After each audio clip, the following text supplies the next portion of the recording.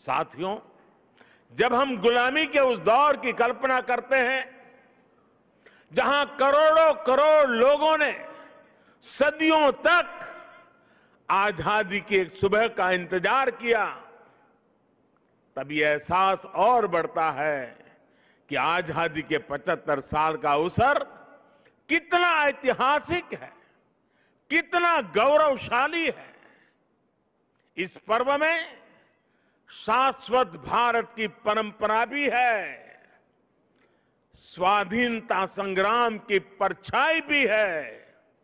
और आज़ाद भारत के गौरवान्वित करने वाली प्रगति भी है।